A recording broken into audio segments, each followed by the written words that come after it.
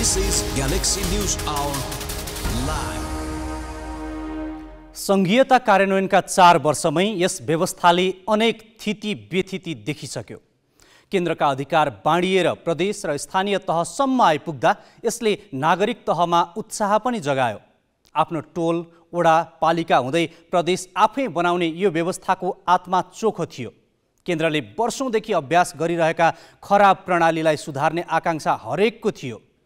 केन्द्रले शासन सञ्चालनमा गर्ने गरेको अस्वाभाविक भागबन्डा अप्राकृतिक गठजोडलाई सङ्घीयताले तोड्छ भन्ने आशा थियो तर केन्द्रले जे जस्ता अभ्यास गर्थ्यो प्रदेशहरूले सर्लक्कै त्यही त्यही दोहोऱ्याउँदै गएका छन्। गैर सांसददेखि मूर्ति चोरसम्मलाई मन्त्री सिफारिसदेखि दलीय स्वार्थपूर्तिका लागि आँखा चिम्लिएर मन्त्रालय टुक्र्याउन थालियो। नेताहरूका व्यक्तिगत अभिलाषा पुरा गर्न नैतिकता बन्धकी राखेर कानुन कुल्चिँदै आसेपासेलाई पुस्न थालियो।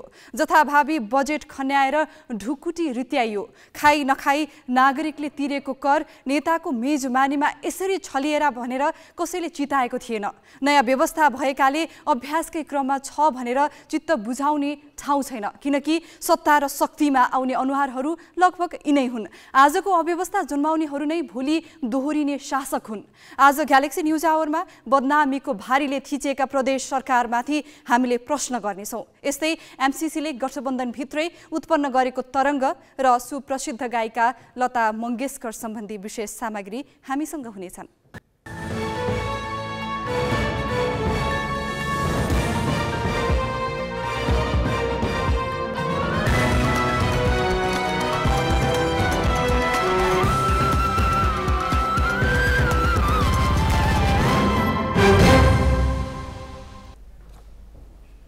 नमस्कार यो हो ग्यालेक्सी न्युज आवर अब हेडलाइन्स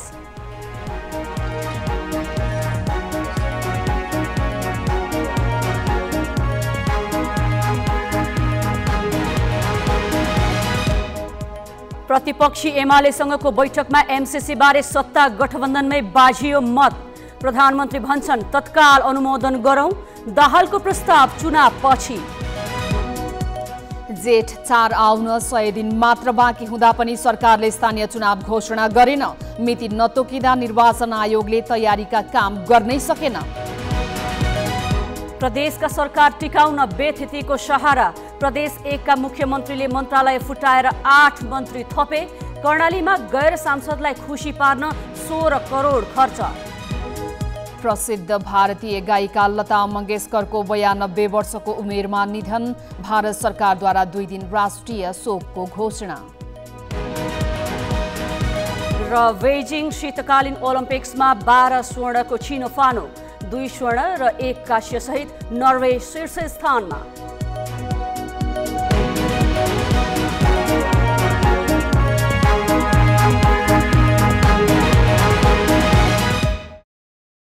संसदबाट एमसिसी अनुमोदन गर्नुपर्ने र स्थानीय तहको चुनावको मिति तत्कालै घोषणा गर्नुपर्ने बहस चर्किरहेका बेला आज दिउँसो बालुवाटारमा प्रधानमन्त्रीको पहलमा प्रधानमन्त्री शेरबहादुर देउवा नेकपा एमालेका अध्यक्ष केपी शर्मा ओली र माओवादी केन्द्रका अध्यक्ष पुष्पकमल दाहाल बीच छलफल भयो। शीर्ष नेताहरूको छलफलमा खास गरी के के विषयमा कुराकानी भयो भन्ने जानकारी दिन राजनीतिक संवाददाता सिर्जना घिमिरे हामीसँग सम्पर्कमा छिन्। सिर्जनाजी आज अपरान्न बालुवाटारमा बसेको बैठकमा मुख्य गरी के के विषयमा कुराकानी भए? गौतमजी आज प्रधानमन्त्रीको सरकारी निवास बालुवाचारमा तीन शीर्ष प्रमुख दलका शीर्ष नेताहरूबीच छलफल भएको छ। करिब दुई घण्टा विशेष गरी स्थानीय तहको निर्वाचनको मिति घोषणा गर्न भइरहेको विलम्ब एमसिसीलाई लिएर पछिल्लो समय चर्किरहेको बहसका विषयमा आजको छलफल केन्द्रित रहेको भनेर हामीलाई सरकारका प्रवक्ता ज्ञानेन्द्र बहादुर कार्कीले जानकारी दिएका छन्। यसबाहेक एमाले महासचिव शङ्कर पोखरेलले पनि यिनै विषयमा छलफल भएको भनेर जानकारी दिएका छन्। अब आजको बैठकमा संसद अवरोधको विषयमा त्यसै गरी स्थानीय तहको चुनाव लगायतका विषयमा कसरी छलफल अगाडि बढे? खास गरी अब प्रमुख प्रतिपक्षी एमाले लामो समयदेखि संसदमा अवरोध गर्दै आइरहेको छ। त्यो खुलाउने विषयमा कुराकानी भयो कि भएन? केही जानकारी छ? पक्कै पनि पछिल्लो समय भदौ तेइस यता नेकपा एमाले संसदमा निरन्तर अवरोध जारी राखेको छ र आजको बैठकमा पनि एमाले माथि संसदको अवरोध नलम्ब्याउन दबाब दिने एउटा रणनीति पनि सत्ता गठबन्धनले लिएको थियो। जस अनुरूप एमसिसीको विषयमा छलफल भयो स्थानीय तहको निर्वाचनका विषयमा पनि छलफल भयो र यी सबै विषयको पेरिफेरीमा भने संसदमा जारी अवरोध पनि रहेको थियो। प्रधानमन्त्री शेरबहादुर देउबाले एमालेलाई संसदमा जारी राखेको अवरोध हटाउन आग्रह गर्दा र एमसिसी अनुमोदनका लागि अब अगाडि बढ्नुपर्छ सहयोग गरौँ भनेर भनिरहँदाखेरि माओवादी केन्द्रका अध्यक्ष पुष्पकमल दाहालले संसदमा जारी एमालेको अवरोध पहिला खुलाउनु पर्ने र एमसिसीका हकमा आगामी चुनावपछि मात्र यो विषय अगाडि बढाउनलाई सामूहिक रूपमा एउटा प्रतिबद्धता गरौँ र त्यही सन्देश अमेरिकालाई पठाउँ भन्ने खालको कुरा भएको थियो। र एमाले भने आफ्नो अडानमा आफूहरू यथावत रहेको र सत्ता पक्षले ठोस निर्णय नगरिरहेको अवस्थामा आफूहरू केही नबोल्ने र संसदको अवरोध पनि नखोल्ने जानकारी आजको बैठकमा अथवा भनौँ आजको छलफलमा दिएको छ। अब विशेष गरी प्रमुख प्रतिपक्षी सहित बोलाइएको बैठकमा सत्ता गठबन्धनभित्र नै एमसिसीको विषयलाई लिएर मतभेद देखियो आजको बैठकमा भन्ने कुराहरू पनि बाहिर आइरहेका छन्। खास आजको बैठकमा भएको चाहिँ के थियो? खासमा आजको बैठकलाई चाहिँ एमसिसी अघि बढाउन प्रधानमन्त्रीले गरेको एउटा निर्णायक पहलका रूपमा लिन सकिन्छ गौतमजी। किनभने अमेरिकाले पनि एमसिसी अनुमोदनमा के गर्ने भनेर ताकेता गरिरहेको अवस्था छ सत्तारूढ गठबन्धनमाथि उच्च दबाव बढाइरहेको अवस्था छ। त्यसैले प्रधानमन्त्री शेरबहादुर देउबाले अब यो विषय गठबन्धनभित्रको मात्र होइन प्रमुख प्रतिपक्षी नेकपा एमालेलाई पनि विश्वासमा लिएर अगाडि बढ्दा केही मार्ग खोल्छ कि केही मध्यबिन्दु फेला पर्छ कि भनेर प्रयास गरिरहेको अवस्था थियो। त्यही प्रयासको एउटा प्रतिफल स्वरूप आजको छलफललाई लिन सकिन्छ। तर भइदियो के भन्दाखेरि आजको बैठकमा प्रधानमन्त्री शेरबहादुर देउबाले अगाडि बढौँ भनेर प्रस्ताव राख्दा सत्तारूढ गठबन्धनको एउटा घटक माओवादी केन्द्रका अध्यक्ष अध्यक्ष दाहाल जसले आफैले प्रधानमन्त्री देउबासँग मिलेर एमसिसी मुख्यालयलाई पत्रचार गरेका थिए। केही समय अघि हामी छिट्टै पारित गर्छौँ भनेर उनी दाहालले अब यो विषय चुनावपछि मात्र गरौँ र यसमा प्रमुख प्रतिपक्षी एमाले पनि सहयोग गरोस् र एउटा सामूहिक प्रतिबद्धता गरौँ भनेर पत्र पठाएपछि एक प्रकारको मत बाझिएको अवस्था आजको छलफलमा देखिएको थियो सत्ता गठबन्धन भित्र। अर्को कुरा जुनसुकै विषयमा छलफल गर्दा अथवा निर्णय लिँदा गठबन्धन दलका शीर्ष नेताहरूको सहमतिमा उपस्थितिमा गर्ने भन्ने एक खालको सहमति अनुसार गठबन्धन सरकार बनेको थियो। तर आजको बैठक हामीले हेर्ने हो भने एकीकृत समाजवादीका अध्यक्ष माधव कुमार नेपाललाई नबोलाइ बस्यो। अब यो आजको परिदृश्यबाट गठबन्धनमा चिसोपना आएको अनुमान लाउन सकिन्छ? पक्कै पनि गौतमजी यहाँले भने जस्तै एमसिसी मुख्यालयलाई एमा प्रधानमन्त्री देउबा र माओवादी केन्द्रका अध्यक्ष दाहालले गोप्य रूपमा पठाएको पत्रले नै गठबन्धनभित्र एक प्रकारको आशंका संशयको स्थिति सृजना गरिसकेको अवस्था छ। बिहानैदेखि एकीकृत समाजवादीका नेताहरूले यो विषय के हो आधिकारिक धारणा आउनु पर्यो भनेर माग पनि गरिरहेको अवस्था छ। संवाददाता सृजना घिमिरेसँग आज बालुवाटारमा भएको बैठकको बारेमा जानकारी लिँदै थियो। अमेरिकी अनुदान सम्बन्धी सम्झौता एमसिसी संसदबाट अनुमोदनका लागि प्रधानमन्त्री शेरबहादुर देउबाको निर्णायक पहलका रूपमा लिएको प्रमुख तीन दलको बैठकमा सत्ता गठबन्धनभित्रै विवाद देखिएको छ। प्रधानमन्त्री शेरबहादुर देउबाले तत्काल एमसिसी अनुमोदन गर्नका लागि मागेको सहयोगमा गठबन्धनभित्रैको माओवादीले सकारात्मक जवाफ दिएन। माओवादी अध्यक्ष पुष्पकमल दाहालले चुनावपछि मात्र एमसिसी अगाडि बढाउन जोड दिए। एमाले पहिला गठबन्धनमा सहमति कायम गर्न सुझाव दिएर पन्छियो गठबन्धनकै अर्को घटक नेकपा एकीकृत समाजवादी प्रधानमन्त्री देउबा र माओवादी अध्यक्ष दाहालप्रति नै आशंका व्यक्त गरेको छ। सत्ताबाट बाहिरिएको सात महिनापछि एमाले अध्यक्ष ओली पहिलो पटक बालवाचार प्रवेश गरेका छन्। यसअघि प्रधानमन्त्री देउबाले पटक पटक आह्वान गरेको सर्वदलीय बैठक बहिष्कार गर्दै आएका ओलीले यो पटक भने नेकपा एकीकृत समाजवादीका कुनै पनि नेता सहभागी हुन नपाउने शर्तमा उनी बालवाचार प्रवेश गरेका हुन्। अझ एउटै पार्टीमा छँदा निकै तिक्ततापूर्ण सम्बन्ध भएर अलगिएका माओवादी अध्यक्ष पुष्पकमल दाहालसँग यसरी बन्द कोठाको बैठकमा ओलीको पहिलो पल्ट जम्का भेट भयो। अमेरिकी अनुदान सम्बन्धी सम्झौता एमसिसी अहिलेकै अवस्थामा पारित गर्न नहुने अडान राखिरहेका दाहालले एमसिसी पारित गर्न तयार रहेको भन्दै लिखित पत्रचार नै गरेको विवरण बाहिरिएको र एमसिसीकै कारण सत्ता गठबन्धनभित्र थप अविश्वास पैदा भएको बेला प्रमुख प्रतिपक्षी दलका नेता समेतको बैठकलाई निकै अर्थपूर्ण रूपमा लिइएको छ। आइस ब्रेक भएको छ र यो राष्ट्रिय राजनीतिमा सकारात्मक मोडमा सकारात्मक दिशामा यसले निर्देश गर्ने हिसाबको छलफल आज। तर एमसिसीलाई लिएर बालवाटार बैठकमा प्रधानमन्त्री देउबा र माओवादी केन्द्रका अध्यक्ष दाहाल बीच नै मत बाँझियो। एमाले अध्यक्ष ओलीले यसैलाई समाएर सत्ता गठबन्धनमाथि एमसिसीका सम्बन्धमा स्पष्ट हुन दबाव बढाए। सम्मान्य प्रधानमन्त्रीको धारणा एमसिसी लगायतका विषयहरूलाई अगाडि बढाउनका लागि सहयोग गर्नुपर्छ भन्ने खालको रहेको थियो। त्यसै गरी सत्ता गठबन्धनका नेता पुष्पल दाहाल प्रचण्डको चाहिँ एमसिसीका सन्दर्भमा उहाँले प्रतिपक्षले चाहिँ सदन सुचारी गर्नका लागि सहयोग गरोस् भन्ने खालको कुरा वा चुनावसम्मका लागि यो विषयलाई संयुक्त रूपमा चाहिँ प्रतिपक्षसहित भएर चाहिँ चुनाव पछाडि मात्रै यो विषय अगाडि बढाउनु उचित हुन्छ भनेर प्रस्ताव पठाउँ भन्ने खालको आग्रह गर्नुभएको थियो। र हामीले हाम्रो तर्फबाट खास गरी सत्ता पक्षले आफ्नो दृष्टिकोण एमसिसीका सन्दर्भमा के छ भन्ने कुरा राख्नु उचित हुन्छ। प्रधानमन्त्री प्रणालीमा सत्ता पक्ष राष्ट्रिय मामिलाहरूमा मुद्दाहरूमा अलग अलग राय प्रकट गर्ने कुरा संसदीय लोकतन्त्रका लागि उपयुक्त कुरा होइन। यो विषयमा सत्ता पक्ष सबभन्दा पहिले स्पष्ट होस् भन्ने राय हामीले प्रकट गर्यौँ। त्यसो त स्थानीय चुनावको मिति तोक्न सरकारमाथि दबाव परिरहेको छ भने संसदको अवरोध नलम्ब्याउन प्रतिपक्षी एमाले दबावमा छ। चुनावको मिति घोषणा गरे संसदमा आफू बाधक नबन्ने एमाले भनिरहेको छ। चुनाव र एमसिसीमा काङ्ग्रेस र एमालेको मत मिल्दा गठबन्धनमा माओवादी र एकीकृत समाजवादीको उपस्थिति र औचित्य कमजोर बन्छ। एमसिसीमा माओवादी अध्यक्ष दाहालको दोहोरो भूमिकाले यसै पनि गठबन्धनभित्र आशंकाको वातावरण बनिरहेको छ। खास गरी एकीकृत समाजवादीले दाहालप्रति शङ्का व्यक्त गरेको छ।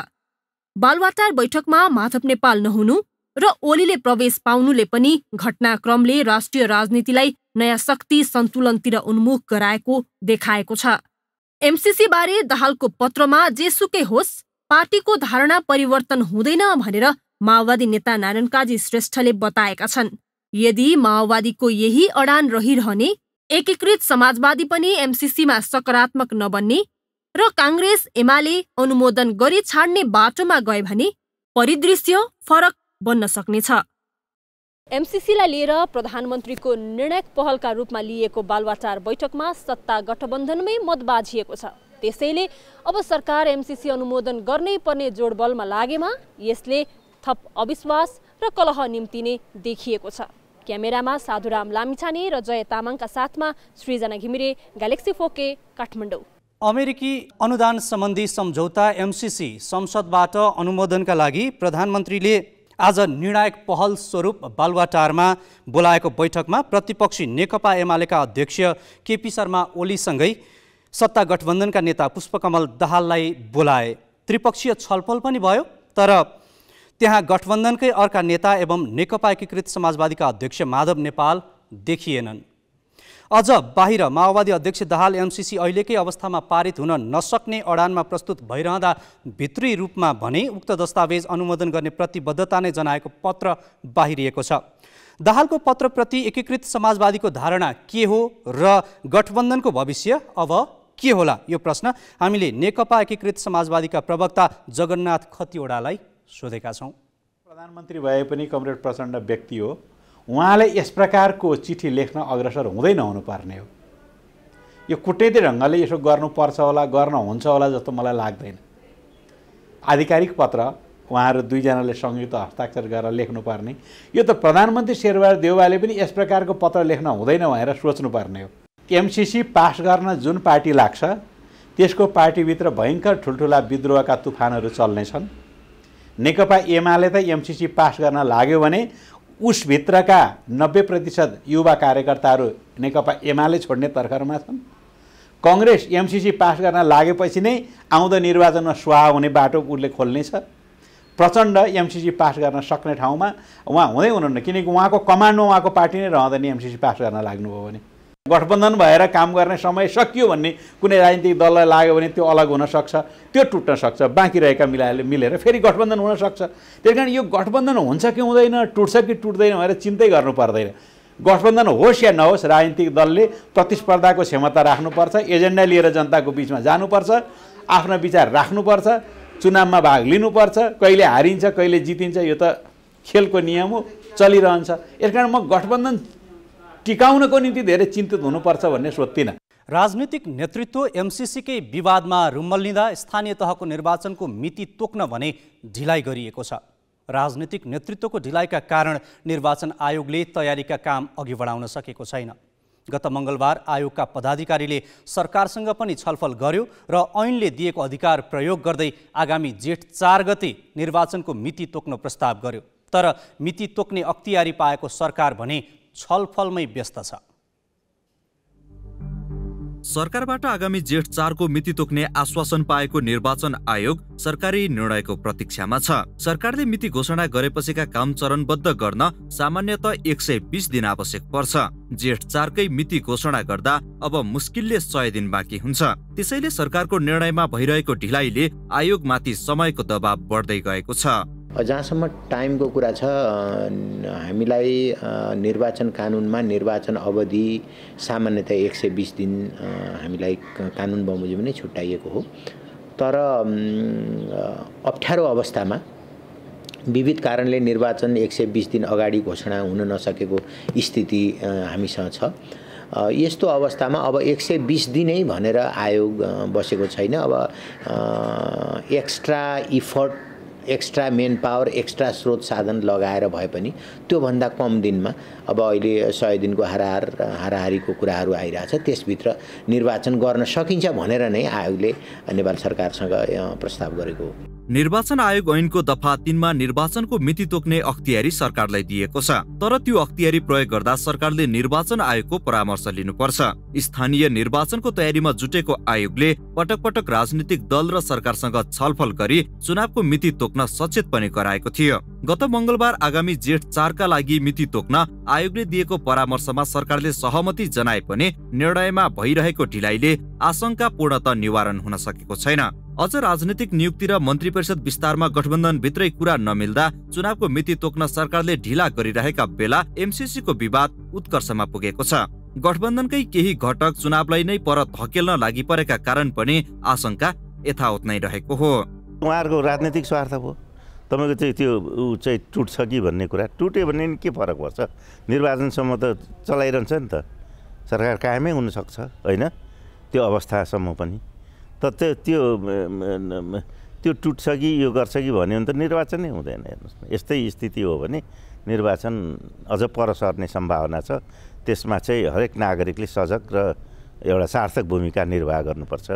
तपाईँको चाहिँ यो सञ्चार माध्यमले पनि र नागरिकहरूले पनि। यसअघि दुई हजार चौरात्तरमा पनि अन्तिम समयमा आएर निर्वाचनको मिति घोषणा भएको थियो। यसपालि पनि विभिन्न क्षेत्रबाट दबाव सिर्जना भएपछि सरकार मिति घोषणा गर्न तयार भए पनि दलीय स्वार्थकै वरिपरि अल्मलिनु स्वाभाविक छैन। निर्वाचनसँग सम्बन्धित ऐन कानुनमा निर्वाचन आयोगसँग परामर्श गरेर निर्वाचनको मिति तोक्ने जिम्मेवारी सरकारलाई दिएको छ। सोही अनुसार निर्वाचन आयोगले आगामी जेठ चार गते स्थानीय तहको निर्वाचनको मिति घोषणा गर्न सरकारलाई सिफारिस पनि गरेको छ। तर निर्वाचनको मिति घोषणा गर्ने अख्तियारी पाएको सरकार भने मौन बसेको छ। क्यामेरामा सबिन महर्जनका साथ Basu Khadka galaxy four K Kathmandu. अब केही न्युज संक्षेपमा। कोभिडबाट पछिल्लो चौबिस घण्टामा एघारजनाको मृत्यु भएको छ। देशभर एक हजार एक सय तिरासी सङ्क्रमित थपिएका छन्। स्वास्थ्य मन्त्रालयका अनुसार छ हजार चार सय त्रिचालिसजनाको पिसिआर परीक्षण गर्दा अठार प्रतिशतमा सङ्क्रमण देखिएको हो। आज थपिएका मध्ये पाँच सय छैसठीजना काठमाडौँ उपत्यकाका हुन्। सङ्क्रमितको सङ्ख्या घट्दा कोरोनामुक्त हुनेको सङ्ख्या भने बढिरहेको छ। आज आठ हजार सात सय चारजना सङ्क्रमणमुक्त भएपछि सक्रिय सङ्क्रमितको सङ्ख्या पैँतालिस हजारमा छरेको छ। कोभिडका दुई सय उनासत्तरी बिरामी आइसियू र छयालिसजना भेन्टिलेटरमा उपचारमा छन्।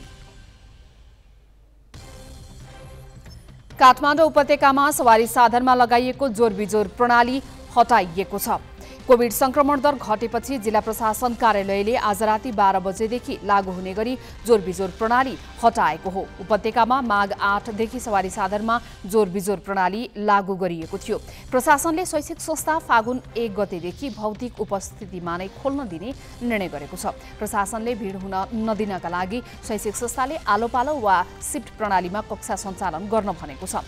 कोभिड संक्रमण दर बढेपछि विद्यालय पुस सत्ताइस गतेदेखि बन्द गरिएका थिए।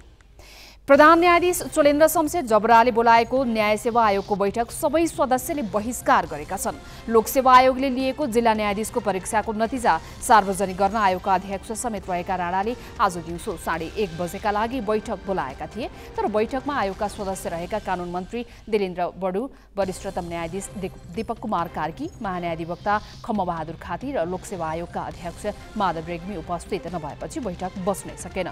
आयोगका सदस्यहरू उपस्थित नभए भएकाले बैठक स्थगित भएको प्रवक्ता मानबहादुर कार्कीले जानकारी दिएका छन्। यसअघि माघ चौध गते बसेको आयोगको बैठकले छजना उपसचिवलाई महासचिव र सोह्रजना अधिकृतलाई उपसचिवमा बढुवा गरेको छ। आज आयोगको बैठक बस्नै नसके पनि रणाले न्यायाधीश नियुक्ति र सरुवाका विषयमा छलफल गर्न भोलि न्याय परिषदको बैठक बोलाएका छन्। परिषदको बैठक दिउँसो साढे एक बजे बस्ने गरी बोलाएको प्रवक्ता कार्कीले बताए। राष्ट्रिय प्रजातन्त्र पार्टीका अध्यक्ष राजेन्द्र लिङदेनले पूर्व अध्यक्ष कमल थापाको असन्तुष्टि सम्बोधन गर्ने बताएका छन्। राप्रपा अध्यक्ष लिङदेनले पार्टीका मनोनित पदाधिकारीलाई आज पद तथा गोपनीयताको शपथ गराउँदै थापाको असन्तुष्टि सम्बोधन गर्ने बताएका हुन्। पार्टीको महाधिवेशनमा निर्मल निवासको हस्तक्षेपका कारण आफू पराजित भएको अभिव्यक्ति दिएका थापाले माग सम्बोधन नगरे पार्टी दुर्घटनामा पर्ने चेतावनी दिँदै आएका छन्। अध्यक्ष लिङ्गदेनले शनिबार थापालाई उनकै निवास पुगेर भेटेका थिए। उनले कसैलाई पनि गुनासो गर्ने ठाउँ नदिई पार्टीलाई एक ढिक्का बनाउने बताएका छन्।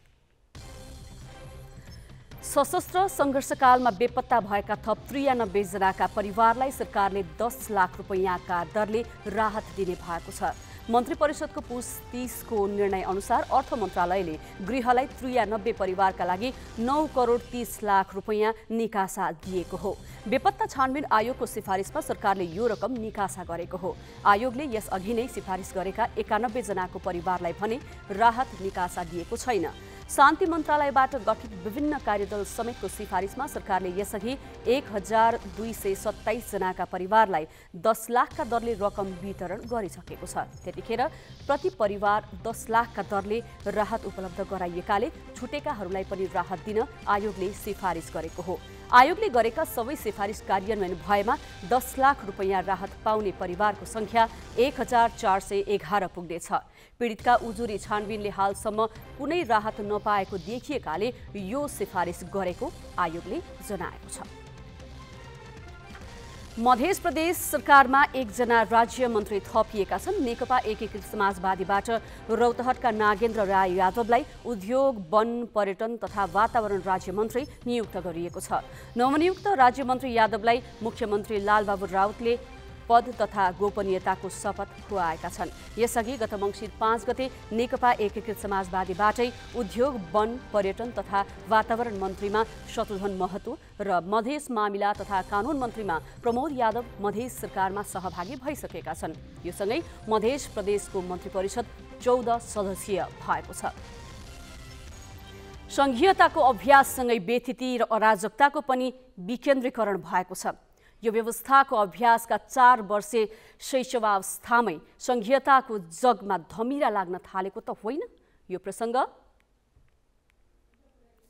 क्रान्ति शिखाबाट। सरकारी सेवा प्रवाह चुस्त दुरुस्त बनाउनका लागि देशले सङ्घीय व्यवस्था अँगाल्यो। यो व्यवस्थामा दलहरूले विगतका कमजोरीबाट पाठ सिक्ने धेरैको विश्वास थियो। तर सङ्घीयताको अभ्यास थालेको पाँच वर्ष नहुँदै प्रदेश तहमा विकृति मौलाएको छ। मूर्ति चोरहरूलाई मन्त्री बनाउनेदेखि मन्त्री बन्न नपाएकाहरूलाई खुसी तुल्याउन उनीहरूको क्षेत्रमा जथाभावी बजेट बाँड्ने विकृति कर्णाली प्रदेशमा देखिएको छ। कर्णाली प्रदेशका मुख्यमन्त्री जीवनबहादुर शाहीले आइतबार मन्त्री परिषदमा पाँच सदस्य थपे। पाँच मध्ये शाहीको दल नेपाली काङ्ग्रेस र माओवादी केन्द्रका दुई दुई तथा नेकपा एकीकृत समाजवादीका एकजना हुन्। माओवादीबाट उद्योग पर्यटन वन तथा वातावरण मन्त्री बनेका कार्चेन लामा मूर्ति चोर हुन्। मूर्ति चोरे बापत उनले जिल्ला अदालत हुम्लाको आदेश अनुसार सजाय भोगेका थिए। अर्कातिर लामा प्रदेशसभा सदस्य होइनन्। आइतबार विस्तारपछि मन्त्री परिषद आठ सदस्यीय भएको छ। तर मन्त्री परिषदमा महिलाको प्रतिनिधित्व छैन। प्रदेश सभाको सदस्य नभएको र मूर्ति चोरे बापत सजाय पाएका लामालाई मन्त्री बनाइएपछि मुख्यमन्त्री शाही र माओवादी केन्द्र त विवादित भएका छन् नै। सङ्घीयता पनि नैतिकता नभएकाहरूले नै हालिमुहाली गर्ने व्यवस्था हो भन्ने सन्देश गएको छ। शाही कार्तिक सोह्र गते मुख्यमन्त्री नियुक्त भएका थिए। बल्ल बल्ल विस्तार गरेको मन्त्री परिषद त उनले विवादमुक्त बनाउन सकेन नै। गठबन्धन दलका नेतालाई रिजाउन ढुकुटीको दुरुपयोग पनि गरेका छन्। सङ्घीय शासन व्यवस्था अँगाल्नु अघि सरकार टिकाउन सांसदहरूलाई विदेश घुमाएको देखि पजेरो सुविधा दिएको लगायत विकृतिले राजनीतिक दलप्रति नकारात्मक मत बनेको थियो। यस्तै विकृति अहिले कर्णाली प्रदेशमा देखिएको छ। मुख्यमन्त्री शाहीले आफ्नो सरकार टिकाउनको लागि प्रदेश सभा सदस्य नरहेका नेताहरूको निर्वाचन क्षेत्रमा मनमौजी रूपमा बजेट बाँडेका छन्। उनले नेकपा एकीकृत समाजवादीका प्रकाश ज्वाला अमर बहादुर थापा नन्दसिन बुढा र कुर्मराज शाहीले गरेको सिफारिसका आधारमा सोह्र करोडको आयोजना सदर गरिदिएका हुन्। कर्णाली प्रदेश आफैमा गरिब छ। त्यहाँ एकातिर स्रोतको अभाव त छँदैछ अर्कोतिर गर्नुपर्ने काम धेरै छन्। जनअपेक्षा पुरा गर्न किफायती हुनुपर्नेमा सीमित स्रोत जथाभावी बाँडिएपछि तथा मन्त्रीमा चोरलाई चयन गरिएपछि सङ्घीयता सेवा प्रवाहमा सुधार र समृद्धिका लागि नभई केन्द्रमा रहेको विकृति तल्लो तहसम्म पुर्याउनका लागि ल्याइएको भन्नेलाई बल मिलेको छ। ग्यालेक्सी फोकेका लागि सुर्खेतबाट सुदीप पुरीको रिपोर्ट। केन्द्रीकृत शासनका विकृतिकै झल्को दिने गरी प्रदेशका सरकारहरूले पनि एकपछि अर्को गरी सत्ता टिकाउनका लागि राज्य कोषमाथि व्यवहार बढाउन उद्दत देखिएका छन्। सरकार सञ्चालनकै लागि खर्चको धौधौ परिरहेका बेला प्रदेश एकका मुख्यमन्त्री राजेन्द्र राईले आफू सत्तामा टिक्नका लागि मन्त्रालय फुटाएर आठ मन्त्री थपेका छन्। यसअघि आफूसहित छ सदस्यीय मन्त्रीमण्डल बनाएका उनले अब चौध सदस्यीय बनाएका हुन्। गत कार्तिक सोह्र गते पाँच दलीय गठबन्धनका तर्फबाट मुख्यमन्त्री बनेका एकीकृत समाजवादीका नेता राजेन्द्र राईले सोही दिन छ सदस्य मन्त्रीमण्डल बनाएका थिए। दलहरूमा सुरुदेखि नै आकाङ्क्षी धेरै भएका कारण भागभण्डा पुर्याउन उनलाई मुस्किल परेको थियो। सबैलाई खुसी नपारे पदमा टिक्नै मुस्किल हुने भएपछि राईले मन्त्रालय फुटाएर भागभण्डा मिलाउने जुक्ति निकालेका हुन्। जुन यसअघि बागमती र अरू प्रदेशमा अभ्यास भइसकेको हो राईले सामाजिक विकास भूमि व्यवस्था कृषि तथा सहकारी भौतिक पूर्वाधार विकास र उद्योग पर्यटन वन तथा वातावरण मन्त्रालय टुक्र्याएर थप आठजनालाई मन्त्री पद बाँडेका छन्। नवनियुक्त मन्त्रीहरूमा काङ्ग्रेस र एकीकृत समाजवादीका तिन तिनजना र माओवादीबाट दुईजना छन्। अब हामीले जहाँसम्म चाहिँ प्रदेशको क्षेत्राधिकारभित्र अर्थात् प्रदेशलाई चाहिँ सङ्गठनात्मक संरचना ओएनएम गरेर सङ्घले हस्तान्तरण गरिएका कर्मचारीभित्रैबाट बसेर हामीले चाहिँ के अरे पुनः संरचना गरेका छौँ। एकजना पनि दरबन्दी बढेको छैन। स्वाभाविक रूपमा मन्त्रालय हुँदा त्यसको थोरै अलिकति सचिवालय र केही व्यवस्थापकीय रूपमा चाहिँ थोरै चाहिँ भार बढ्ला। तर हामीले अन्य कतिपय अनावश्यक कार्यालयहरूलाई समायोजन गरेर त्यो चाहिँ चालु खर्चलाई पनि हामीले बचाइसकेको अवस्था छ। एक दोस्रो कुरा चाहिँ स्वाभाविक रूपमा चाहिँ अब जनताको तहबाट सानो सरकार होस् चुस्त सरकार होस् र त्यो सरकारले राम्रो चाहिँ नै मतलब पार काम गरोस् पारदर्शी काम गरोस् त्यसमा राम्रो गुड गभर्नेन्स होस् भन्ने कुरा जनताको तहबाट जुन टिप्पणी आएको छ हामीलाई सरकारलाई आलोचना आएको छ त्यसलाई हामीले गम्भीरतापूर्वक लिएका छौँ। अनावश्यक खर्च नगर्ने जिकिर गरिरहे पनि मन्त्रालय थप भएपछि मन्त्रीको तलब सुविधा र सचिवालयमा रहने जनशक्तिको व्यवस्थापनमा खर्च बढ्ने कुरा लुकाएर लुक्ने अवस्थै छैन। कर्मचारी गाडी तथा आवास खर्च बाहेक मन्त्रीको पारिश्रमिक तथा सुविधा र सचिवालयको खर्च एक मन्त्री बराबर मासिक साढे चार लाख रुपियाँ हुन्छ। एउटा नयाँ मन्त्रालय थपिँदा वार्षिक एक अर्बभन्दा बढीको व्यवहार थपिन्छ। देशैभरिका प्रदेशमा सत्ता टिकाउन मन्त्रालय फुटाउने र मन्त्री थप्ने होडबाजीले प्रशासनिक खर्च थेग्नै नसकिने विकासका काम ठप्प हुने र यसले अर्थतन्त्रलाई नै टाट उल्टाउने जोखिम छ। हाम्रो राजस्वका नयाँ स्रोतहरू पनि पहिचान भएका छैनन्। भने अर्कोतर्फ पुँजीगत खर्च शुद्ध हामीले खर्च गर्न नसकेको अवस्थामा खर्च गर्न नसकेको अवस्थाले जुन अर्थतन्त्रमै समस्या ल्याइदिएको छ यो लिक्विडिटीको क्राइसिसमा पनि त्यसले एउटा कन्ट्रिब्युट गरिरहेको छ त्यस्तो अवस्थामा प्रशासनिक अनप्रोडक्टिभ व्यवहार चाहिँ बढाउने तर्फ चाहिँ यस प्रकारका काम क्रियाकलापलाई प्रशय पाउनु त्यो चाहिँ अति नै दुःख लाग्दो कुरा हो जस्तो मलाई लाग्दछ। र आर्थिक दृष्टिकोणले पनि ठिक होइन। र चाहिँ आम जनताको भावनाको अनुकूल पनि हो हो जस्तो मलाई लाग्दैन।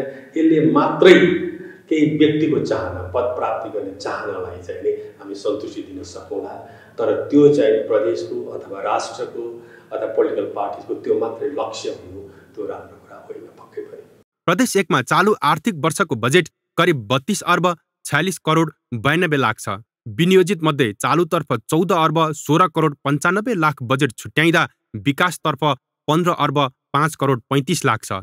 स्थानीय तह वित्तीय हस्तान्तरणतर्फ तीन अर्ब बत्तीस करोड बयालिस लाख छ।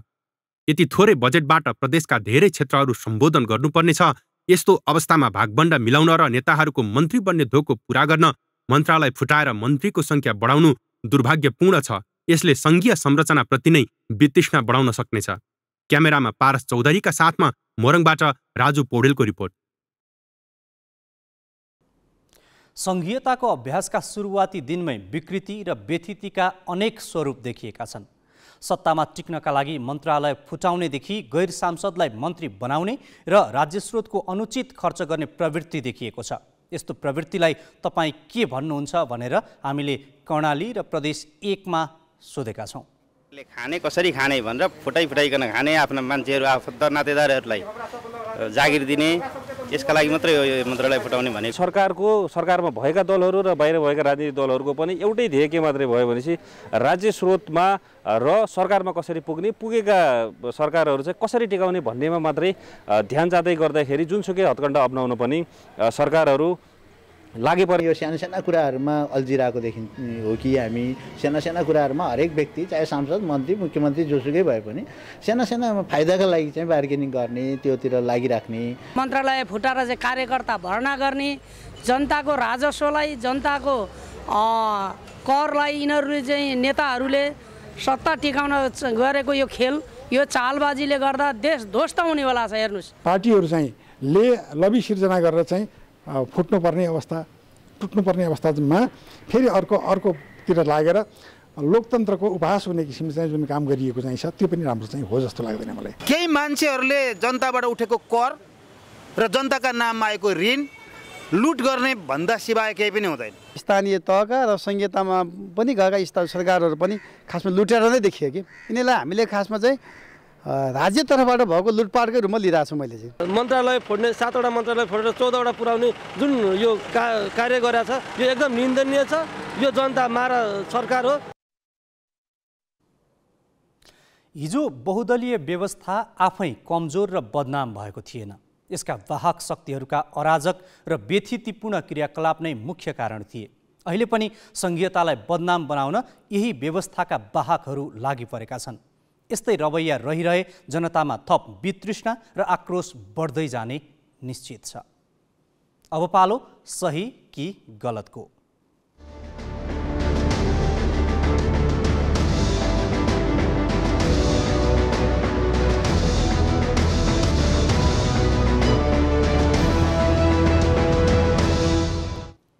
सही कि गलतमा हिजो हामीले सोधेको प्रश्न थियो एमसिसी अनुमोदन संसदको सामान्य बहुमतले नभई दुई तिहाई आवश्यक पर्ने तर्क तपाईँलाई कस्तो लाग्यो सही कि गलत?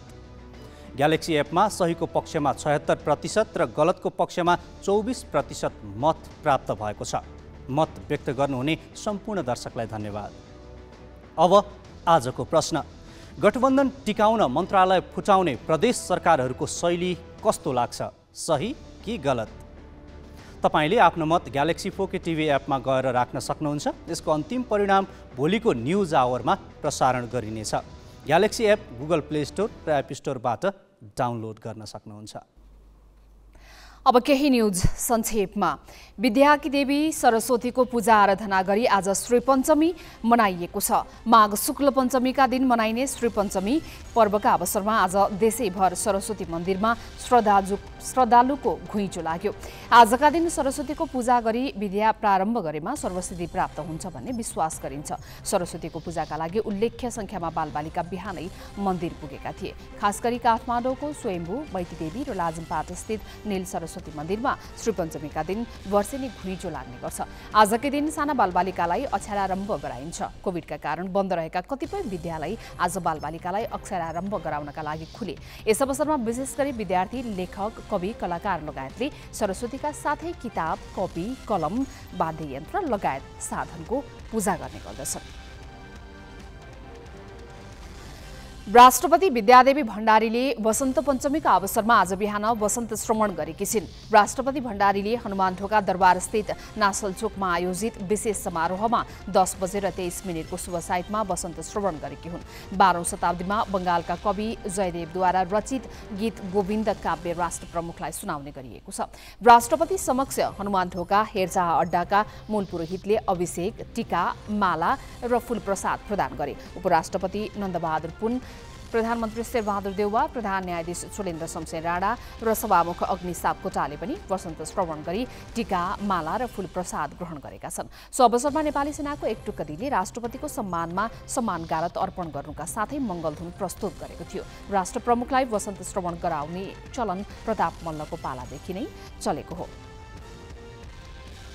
वैदेशिक रोजगार विभागमा अधिकांश कर्मचारी गैल देखिएका छन्। श्रम रोजगार तथा सामाजिक सुरक्षा मन्त्री कृष्ण कुमार श्रेष्ठले आज गरेको अनुगमनमा विभागका अधिकांश कर्मचारी गैल देखिएका हुन्। मन्त्री श्रेष्ठ बिहान करिब साढे दस बजे विभाग पुगेका थिए। उनी पुग्दा अधिकांश कोठामा कुर्सी खाली देखिएका थिए। उनले विभागका कर्मचारी आफ्नो जिम्मेवारीप्रति वफादार नरहेको बताएका छन्।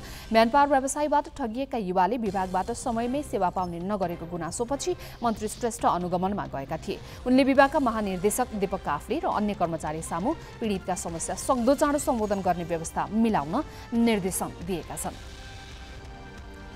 शेयर बजार परिसूचक अठाइस सय छत्तिस अङ्कमा ओर्लिएको छ। नेप्सी आज चालिस दशमलव पाँच सात अङ्कले घटेको छ। तेह्रवटै समूहले सूचक घटाएका हुन्। जीवन बिमा समूहको सूचक सबैभन्दा धेरै साढे तिन प्रतिशतले घटेको छ। आज तेह्र कम्पनीका लगानीकर्ताले कमाउँदा एक सय पचहत्तर कम्पनीका लगानीकर्ताले गुमाएका छन्। बजारमा पाँच अर्ब तिरासी करोड चौसठी लाख रुपियाँको सेयर किनबेच भएको नेपाल स्टक एक्सचेन्जले जनाएको छ।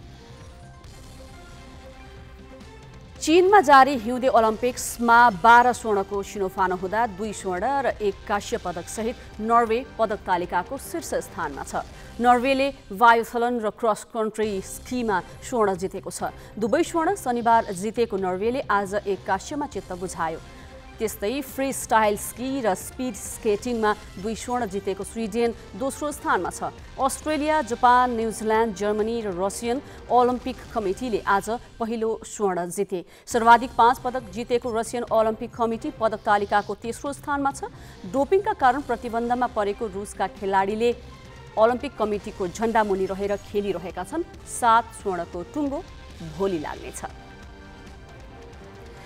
चीनका राष्ट्रपति सी चिनफिङ र पाकिस्तानका प्रधानमन्त्री इमरान खान बीच भेटवार्ता भएको छ। हिउँदे ओलम्पिक्सको उद्घाटन समारोहमा सहभागी हुन बेजिङ पुगेका खान र चिनफिङ बीच दुई देशको सम्बन्ध सुदृढ गर्ने विषयमा छलफल भएको छ। वार्तामा चिनफिङले पाकिस्तानसँग रणनीतिक आर्थिक र क्षेत्रीय सहकार्य गर्दै आतंकवाद विरुद्ध सहकार्य गर्न तयार रहेको बताएका छन्।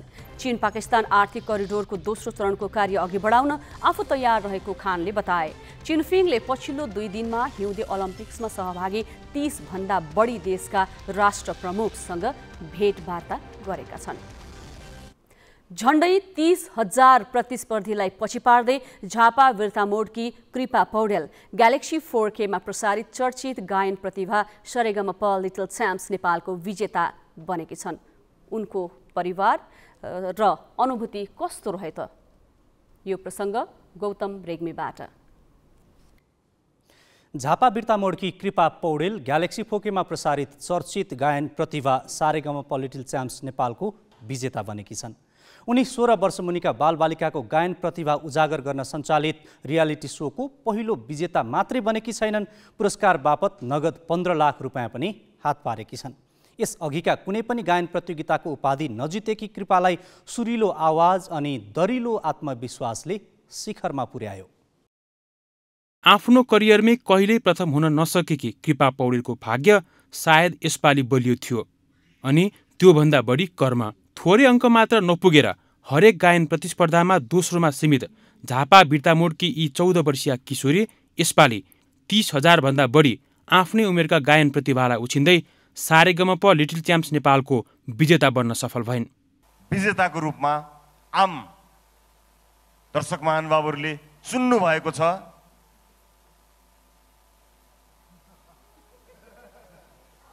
मलाई डर लाग्यो। यस कृपा पौडेल कृपा Paudel the winner of Sa Re Ga Pa lil champ season one congratulation Kripa congratulations लामो समयको प्रतीक्षा अनि कैयौँ चरणका परीक्षा। निर्णायकको कडा अग्निरेखा अनि दर्शकको मनको परीक्षा। यसपालि भने सबैलाई सहजै पार गरेकी कृपालाई नतिजा घोषणा हुनु अघिसम्म भने यति ठुलो बाल गायन प्रतिस्पर्धाको विजेता हुन्छु भन्ने विश्वासै थिएन। अनएक्सपेक्टेड भनौँ न त्यो पनि भइरहेको छ। अनि एकदम धेरै खुसी लागिरहेछ। म हिजो खुसीले रोको पनि थिएँ। त्यस्तै हो। हुने बिरुवाको चिल्लो पात भन्ने चाहिँ कृपामा रहेको भित्री क्षमता सानै उमेरमा देख्न थालिसकिएको थियो। सायद त्यही कुरा उनका अभिभावकले पनि चिन्न सके अनि उनले परिवारमा पनि गायन मैत्री वातावरण पाइन् र यो त्यसैको नतिजा हो। मैले के चाहिँ सोचेको थियो भने टप टेनबाट भोटिङ हुन्छ भन्ने सोचेको थियो होइन। नानी पक्कै पनि भोटिङसम्म चाहिँ पुग्छिन् किनभने भोटिङमा त उनको गलाको कदर हुन्छ होइन। भोटिङ भोटिङभन्दा अगाडि चाहिँ अब भोटिङमा पुगेपछि दुई चार स्टेप अगाडि बढ्दैदेखि हुन्थ्यो। अब कसले कति सपोर्ट गर्नुहुन्छ नानीको गीत कतिले मन पराउनुहुन्छ होइन त्यसमा चाहिँ म एकदम मलाई कस्तो कस्तो लागिरहेको थियो। तर एकदम एकदम पुरै आफूले सोचे जस्तो भयो। नानीको गलाहरू कलाहरू सबै सबै सबै देश विदेशमा छरिएर रहनुभएका नेपाली दाजुभाइ दिदीबहिनीहरूले मन पराइदिनु भयो होइन। अनि नानी विनर भइन् एकदम खुसी। देशमा विभिन्न गायन प्रतिस्पर्धा हुने गरेका छन्। कतिपय विवाद रहित पनि हुन सक्दैनन्। सुरुमा कृपाका बुबा अर्जुनलाई पनि त्यस्तै नलागेको होइन। तर निर्णायक अनि अन्तिममा दर्शकको निर्णयबाट उनी धेरै खुसी छन्। मलाई विनर नै चाहिँ मैले सोचेको थिएन होइन। किनभने अब यहाँ त रियालिटी सोमा मैले धेरैतिर सुनेको थियो। यहाँ त एकदम पैसाको चलखेल हुन्छ अरे। के हुन्छ अरे? अब हामी त सामान्य परिवारको मान्छे हामी त त्यो गर्न सक्दैनौँ। अनि त्यही चाहिँ मैले सोचेको थिइनँ। यदि अनि फेरि मेरो आत्माले चाहिँ के पनि भनेको थियो भने नानी अलिक अगाडि अगाडि बढ्दै जाँदाखेरि उनको फ्रेन्डहरू पनि फ्यानहरू पनि र नानीको भोटिङको त्यो स्क्रिनसट गरेर मलाई विदेशबाट पनि धेरैले पठाउनुहुन्थ्यो कि? अत्याधिक विदेशबाट भोट आउँथ्यो नानीलाई। अनि ओहो लु फाइनलमा चलखेल भइदिएन भने चाहिँ नानी आउँछिन्। भने चाहिँ मलाई थियो तर एकदम त्यस्तै नि भइदियो। म एकदम खुसी छु। र अन्तको चलेको जुन हल्ला छ नि त्यो हल्ला चाहिँ निराधार भएको मैले प्रमाणित गरेको छु म आफैले। सानै उमेरमा हुने यस्ता प्रतियोगितामा सहभागी हुँदा पढाइ बिग्रने डरले कतिपय अभिभावक आफ्ना सन्तानको इच्छालाई मार्न बाध्य हुन्छन्। तर सबैमा त्यस्तो हुँदैन। पढाइ र प्रतिभामा समय व्यवस्थापन गर्न सकिन्छ। कृपाको परिवारले त्यो कुरा प्रमाणित पनि गरिदिएको छ। उनले कैयौं प्रतिस्पर्धीलाई पछि पारेर उपाधि मात्र प्राप्त गरिनन् नगद पन्ध्र लाख रुपियाँसँगै तीनवटा म्युजिक भिडियो निर्माण र नेपालसँगै गायनमा विश्व भ्रमणको अवसर भविष्यमा जागिर अनि पढाइ मार्फत थप उज्यालो पार्ने अवसर समेत पाएकी छन्। यसले उनलाई गायन अनि पढाइ दुवै अघि बढ्ने कुराले धेरै खुसी पनि बनाएको छ। सबैभन्दा सुरुमा त नथिङ इज इम्पोसिबल भन्न चाहन्छु होइन? अनि पोसिबल हुन्छ। यो त देखिरहेको छ नि त देखियो नि त। लाइक म नि म नि त्यसमा बिलिभ गर्थेँ बट यसमा चाहिँ फर्स्ट सेकेन्डमा चाहिँ मलाई त कहिले त्यस्तो भएन नि त फर्स्ट टाइम हो अनि सो हार्डवर्क गर्दै गर्दाखेरि गर्दै जानु होला। सो गर्नु भने त अब सक्सेस हुन्छ नि यो त देखिरहेको छ। अभियसली हुन्छ।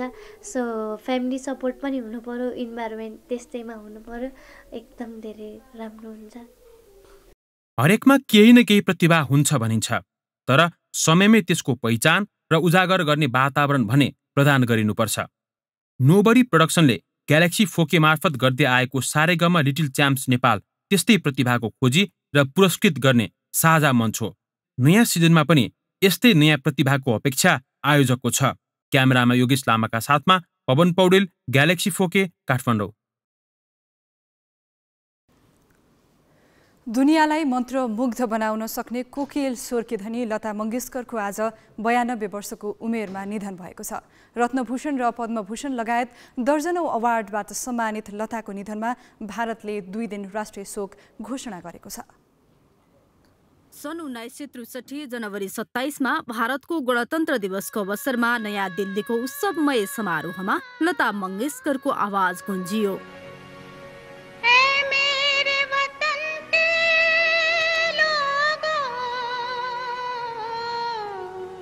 लताले जब यो गीत गाइन् प्रधानमन्त्री जवाहरलाल नेहरूका आँखा रसाउन थाले। कार्यक्रम सकिएपछि नेहरूले लतालाई नै भेटेर उनको प्रशंसा गरेका थिए। नेहरूलाई आफ्नो गीतले रुवाएकी लता आज सङ्गीत प्रेमी सबैलाई रुवाएर संसारबाट विदा भएकी छन्। सन् उन्नाइस सय उन्तिसमा भारतको इन्दौरमा जन्मिएकी लताको उपचारका क्रममा मुम्बईमा निधन भएको हो। कोभिड संक्रमणपछि गत एक महिना अघि उनलाई अस्पताल भर्ना गरिएको थियो। उनको राजकीय सम्मानका साथ अन्तिम संस्कार गरिएको छ। उनको निधनमा भारतमा दुई दिन राष्ट्रिय शोकको घोषणा गरिएको छ।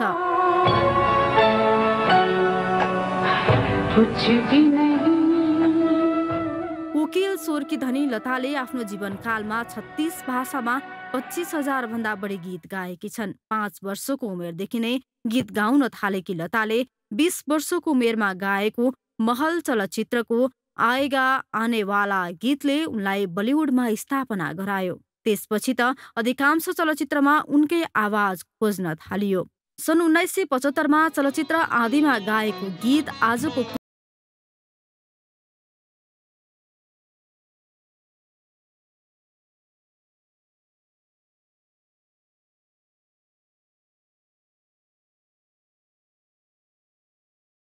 ले उनको निधनमा दुःख व्यक्त गर्दै यस समयको बारेमा भन्न सक्ने कुनै शब्द आफूसँग नभएको भन्दै ट्विट गरेका छन्।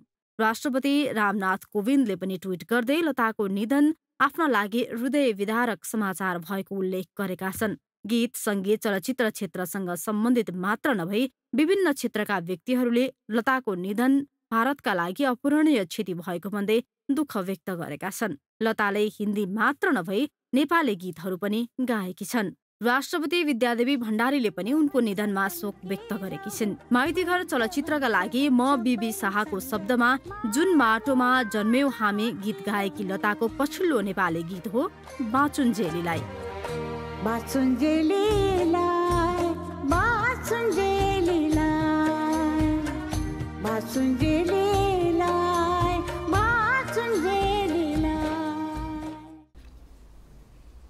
हामी ग्यालेक्सी न्युज आवरको अन्त्यमा छौँ। जाँदा जाँदै हेडलाइन्स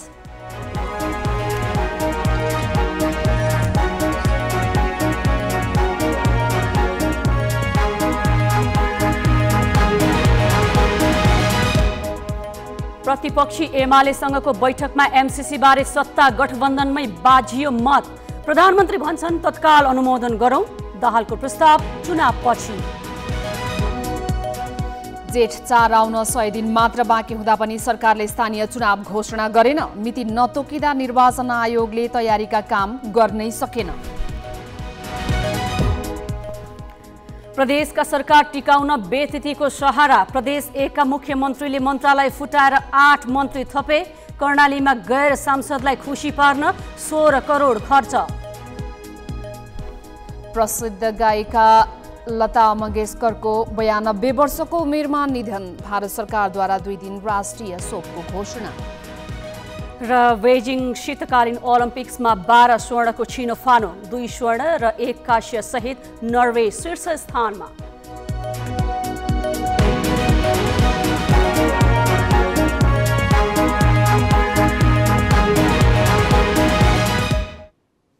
आजलाई ग्यालेक्सी न्युज आवर सकियो। नमस्ते।